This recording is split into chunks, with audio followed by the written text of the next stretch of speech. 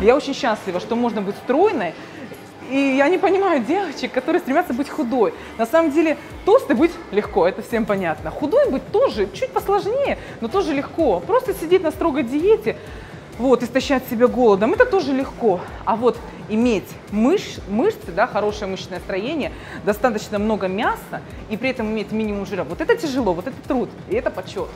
Вот, и это красиво, это аппетитно, это вкусно. Вот, поэтому стремитесь именно к такому. Это высший пилотаж. Так, я считаю, должна выглядеть каждая девушка.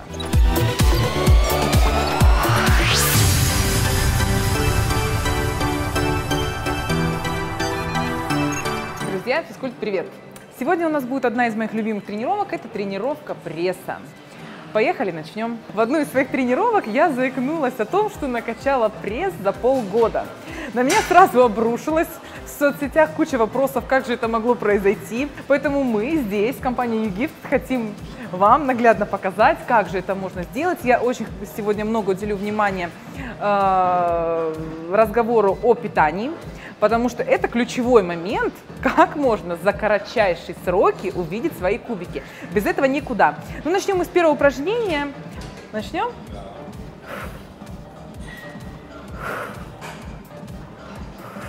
Поясница у нас прижата. Вот. И концентрируемся на мышцах брюшного пресса. Мы ни в коем случае не отскакиваем от пола. Вот. Вниз мы тоже не падаем резко. Мы стараемся сделать хороший-хороший выдох, сжать мышцы и плавно опуститься. Но главное, это прям вы должны чувствовать, как вы как будто бы шарик выдуваетесь. Полностью, полностью выдыхать. Вообще дыхание в проработке пресса име, играет огромную роль. Даже, в принципе, сейчас буду я стоять и, де, и делать очень-очень хороший выдох, полностью освобождая легкие, у меня пресс начнет просто дрожать. Это вот от этого э, именно от дыхания. Поэтому не забывайте правильно дышать и очень хорошо выдыхать. Мы сделали 50 повторений.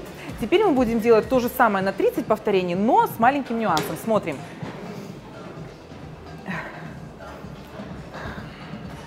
Сейчас мы, чтобы полностью исключить толчок от пола, потому что все равно, когда мы делаем на один раз, у нас есть, присутствует толчок. Сейчас мы будем делать на два счета подниматься вверх и на два счета опускаться вниз. То есть первый рывочек все-таки толчок, а второй уже рывок это чисто мышцы пресса. Мы тянем и также выдыхаем. Назад опять притормозили и вернулись в исходное положение. Таких 30 повторений стараемся.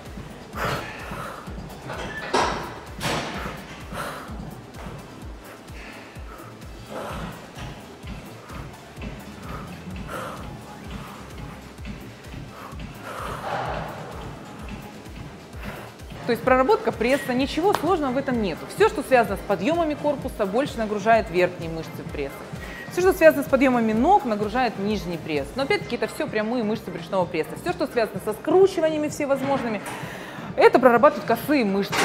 Вот. Увлекаться косыми мышцами не стоит, то есть всякие наклоны с гирями, это забудьте, если вы не хотите иметь огромную талию.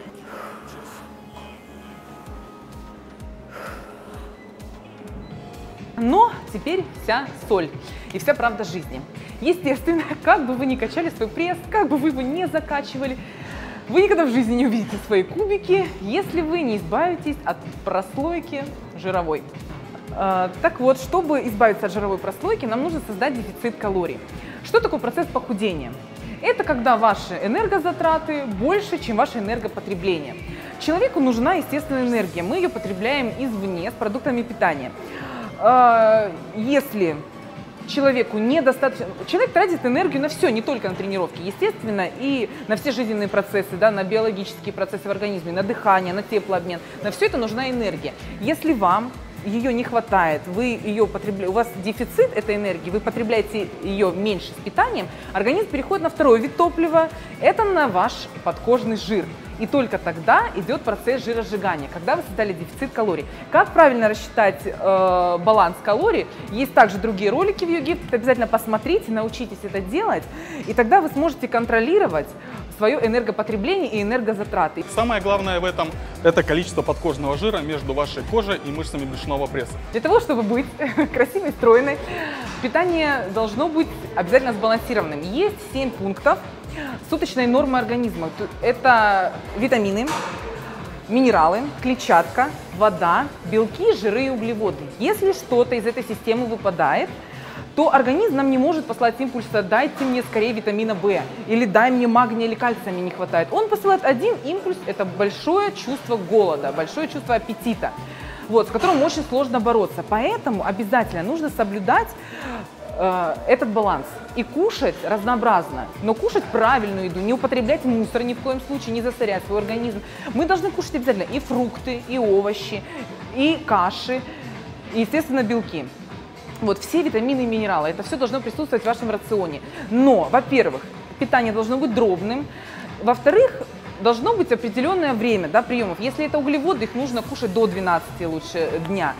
Вот. Во второй половине дня лучше кушать белки, потому что попросту съеденные углеводы во второй половине дня вы не успеете израсходовать, и им ничего не останется, кроме как пойти в жиры.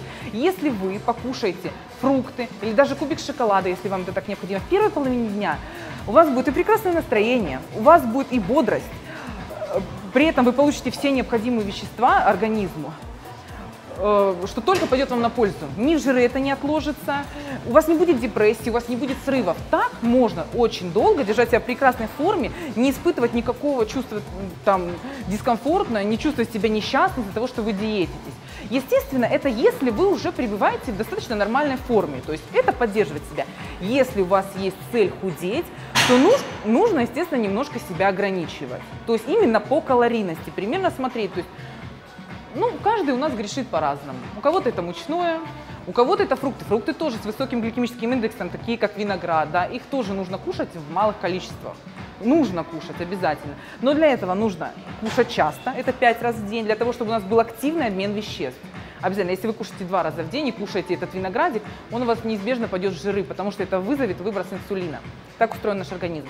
Кушайте часто, и у вас это никуда не будет откладываться и понемножку. То есть все просто. Следующее упражнение у нас будет скручивание. Это очень крутое упражнение, потому что работают и верхний пресс, и нижний пресс, и косые мышцы живота. Как мы это делаем? Ножки согнуты под прямым углом, ручки за голову. Тянемся правым локтем к левому колену, при этом правую ножку вы, выпрямляем. И делаем это на выдохе. И плавно вниз. Таких мы будем делать два подходика. Обязательно обращаем внимание на то, что мы, когда поднимаем корпус вверх, мы не давим на шею, мы не тянем себя за шею. Мы поднимаемся именно за счет мышц брюшного пресса. Вот, делаем скручивание за счет косых мышц и держим ножки на весу, и поэтому у нас постоянно тоже держится в напряжении нижний пресс. Стараемся ножку выпрямлять как можно ниже. Скручиваться тоже, отрывая оба плеча, не перекатываться с одного плеча на другое. И тогда работает весь пресс полностью, все мышцы задействуются. И я думаю, 20 повторений будет достаточно, два подходика. А теперь я вам раскрою свой секрет накачки пресса. Я мазохистка. Ну, не совсем так, конечно же. На самом деле, главное в проработке, в проработке пресса – это болевые ощущения. То есть здесь нужно обращать внимание не на количество повторений, не на конкретно какое-то упражнение. То есть зачастую мне пишут, а каким упражнением ты накачала пресс? Ну, то есть, естественно, это смешно, вы понимаете. А на сколько повторений ты делаешь? Это тоже не может быть, как бы это не величина не может быть абсолютная. Она может быть только относительная. Кого-то убьет 50 повторений, кого-то убьет 100 повторений, кого-то убьет 20 повторений. Здесь принципиально именно те ощущения. Когда вы чувствуете просто жгучую боль в области пресса, вот тогда нужно сделать еще повторений 10. Вот именно через боль. Первые эти, да, там, если вы сделали 30 повторений чувствуете боль, эти первые повторения были разогревочные, а вот Потом каждый повтор идет на вес золота. То есть каждый раз вот эта боль вы чувствуете, и вы должны себе в голове проговаривать, что вот этот повтор, он ценен тысячу раз ценнее, чем те 30 предыдущих. Сейчас вы остановитесь, вы остынете, и вам нужно будет опять разогреваться 30 раз. Поэтому вот не сдавайтесь. Вот эти повторения последние, когда вы чувствуете сильную боль, вот они самые ценные. И они именно идут на результат. Любите боль. Как люблю ее я. Сделай мне больно. Часто слышу вопрос, от женщин. Как накачать нижний пресс? Такой вопрос, он распространен, потому что у женщин, женщины так устроены, что, ну, в принципе, да, зачастую именно внизу живота скапливается подкожный жирок. Поэтому нужно просто немножко пожестче посидеть на диете для того, чтобы увидеть как бы свой плоский живот внизу и кубики нижние. Вот. Это только связано с тем, что жировая прослойка внизу живота больше, чем наверху. Вот. А не нужно долбить нижний пресс, не нужно делать эти вот неуемные подъемы ног. На самом деле в тысячу раз эффективнее именно просто обыкновенные подъемы корпуса. Главное, чтобы вы чувствовали вот это вот жжение. Это самое главное. А какие они будут, это не принципиально. С фиксацией ног, без фиксации ног, с отрывом поясницы, без отрыва поясницы. Это все эффективно, однозначно. Главное, чтобы вы чувствовали вот эту боль. Естественно, пресс нужно качать однозначно, даже если вы не хотите кубики, потому что не все девочки, понятное дело, хотят кубики, они просто хотят хороший плоский потянутый животик. Качать нужно, потому что зачастую э, у многих проблема это именно в слабом мышечном корсете и в плохой осанке. То есть если я сейчас согнусь, вывалю живот, втяну копчик. Поверьте, у меня тоже будет и живот, у меня будет и горб, у меня будет и какая-то некрасивая формы попа. А это почему? Потому что у людей слабый мышечный корсет. Когда вы качаете животик, даже не обязательно иметь кубики, конечно же, он подтягивается, форма совершенно другая. Вы качаете спинку, вот, все, другая осанка, вид совершенно другой. Вот, поэтому прорабатывать нужно, даже если вы не хотите иметь кубики. Вот, сейчас у нас было два подходика скручивания. А сейчас мы сделаем два подходика складываний. Вот, не всем, я его буду выполнять в усложненном немножко варианте, буду держать ручки за голову. Кому сложно, так можно держать руки свободно.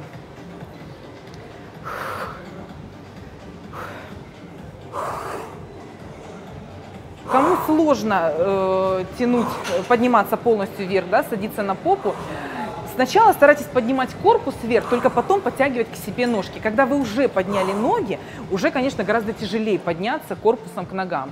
Вот, поэтому старайтесь чуть приподняться и к себе ножки. В этот момент выдохнуть, почувствовать пик напряжения, сжать мышцы пресса, опустошить полностью легкие почувствовать это дрожание и плавненько выпрямиться. Вот таких 20 подходов и полностью проработан прямые мышцы брюшного пресса. А в этом упражнении у нас работал и верхний, и нижний пресс, так как мы одновременно тянули корпус к коленочкам. Вообще это упражнение одно из моих самых любимейших.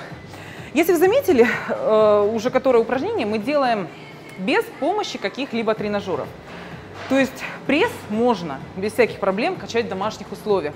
Как я и говорила, что я в своем прошлом ролике, что я накачала кубики за полгода, тогда я вообще даже еще не знала, что такое тренажерный зал. Я делала это дома перед телевизором после работы. То есть я ложилась и качала, качала, качала до болевых ощущений, разные варианты. Вот, но почему это произошло за полгода? Естественно, там не было таких явно выраженных выдающихся кубиков.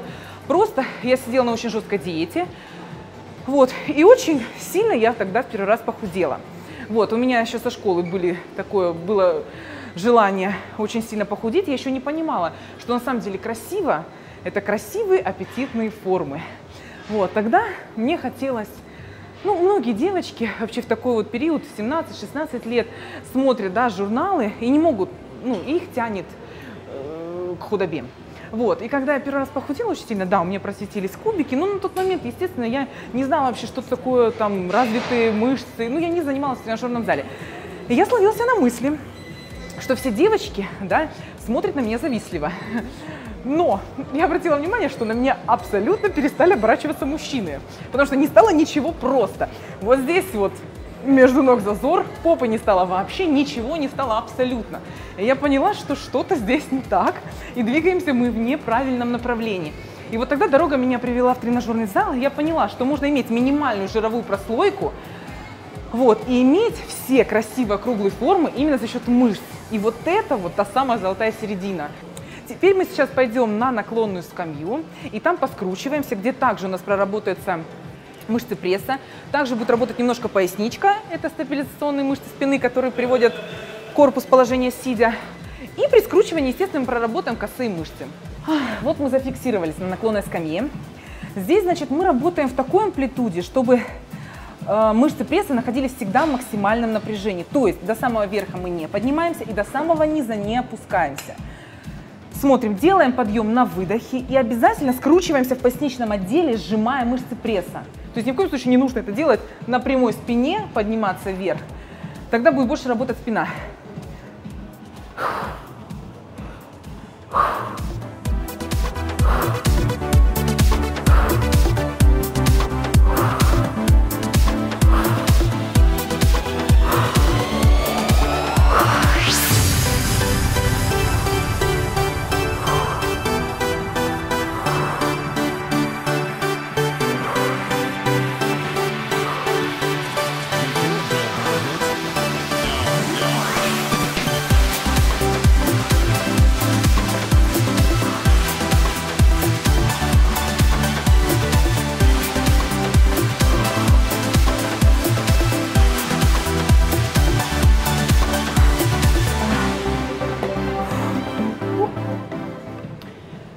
Сначала поделали просто скручивание на прямой пресс, и потом сделали скручивание в сторону. Ну, во-первых, это, естественно, гораздо сильнее нагружает пресс. И лично моя находка в этом упражнении, почему мне, я люблю больше скручиваться, я на наклонной скамье, у меня очень сильно забиваются квадрицепсы. Я раньше вообще избегала этого упражнения, потому что пресс у меня сильный достаточно, вот, и я не успеваю почувствовать, чтобы он устал, когда у меня уже просто квадрицепсы готовы умереть. Вот. Поэтому, когда я скручиваюсь, у меня переводится нагрузка. Сначала закипает одно, потом другое. Ну, то есть я... Ну, то есть вы поняли. Ну, ты понял, что я... I'm sorry. А, на наклонной скамье я делаю два подхода. У меня в моем случае это 30 повторений. На 30 повторение я уже умерла. И уносите меня. Вот. Э, но, опять-таки, ориентируемся на ощущения. Вам должно быть очень-очень больно. Эти ощущения вы должны терпеть. Лично я питаюсь 5 раз в день. За счет регулярных тренировок у меня достаточно высокий обмен веществ активный. Поэтому я не могу назвать себя вообще каким-то несчастным человеком, который постоянно диетится, постоянно голодный вот, и недовольный этой жизнью. Я прекрасно существую со своей, э, со своей диетой. У меня просто режим расписан на несколько приемов пищи. То есть с утра для меня утром это самый вкусный прием пищи. С утра, как правило, я э, мусор, естественно, я не кушаю гастрономический, да, то есть всякие, то, что абсолютно лишено пользы, лишено витаминов, лишено минералов, одни калории жиры, я такое не кушаю в принципе. Для меня самая вкусная еда, то, чем я себя балую, это красная рыба. Поэтому с утра у меня, как правило, это стейк форели, стейк лосося с овощами. Вот, и я могу выпить кружечку кофе с шоколадом, с кубиком шоколада. То есть это 30 калорий, которые, поверьте мне, дадут вам выброс небольшой гормона радости, вот, дадут вам хорошее настроение, дадут вам некоторую энергию, вы придете, вы начнете день весело и бодро. Вот. После этого я иду, как правило, на работу. На работе у меня второй завтрак. Это уже порция медленных углеводов. В моем случае это, как правило, коричневый рис, либо тарелочка овсянки. Вот, через час у меня наступает моя тренька, то есть через час углеводы мне дают энергию, медленные углеводы. Вот, я тренируюсь. После тренировки я съедаю, могу съесть банан, могу съесть грейпфрут. Это сразу же после тренировки закрываю углеводное окно. И через часик я ем грудку, рыбу. То есть потом у меня уже остается 3-4 приема пищи, они преимущественно белковые. Белки и овощи. То есть каша с утра, и кубик шоколада, либо какие-то фрукты, либо яблоко. Это все в первой половине дня. На этом мои углеводы заканчиваются. То есть после тренировки я закрываю углеводное окно бананом, и все. Потом я кушаю уже либо яйца, либо творог, либо рыбку, либо мясо. После этого у меня уже углеводов нету. А, сейчас я вам показала один из вариантов проработки мышц пресса. Их бывает разное множество, разные вариации, разная последовательность. Чередуйте их, качайте мышцы пресса как можно чаще, 7 раз в неделю. Вот, если у вас действительно есть желание как можно быстрее добиться результата. Но делайте это лучше в отдельное время от основных тренировок. Можете делать это просто вечером. На это у вас уйдет буквально, по большому счету, 10-15 минут вашего времени. Если делать это с высокой интенсивностью, вот, делать это много повторно, 15 минут вашего времени сутках 24 часа, 15 минут, но насколько полезны будут эти 15 минут для вашей внешности, для вашего здоровья. Пусть эти 15 минут будут в ваших сутках, и вы об этом не пожалеете.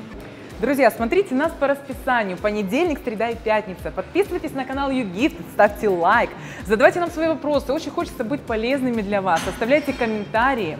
С вами была Катя. До новых встреч. Пока-пока.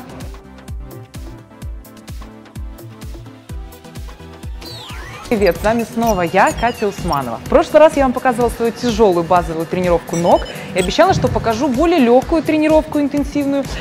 Поэтому не будем откладывать, обещание принято выполнять. Поехали!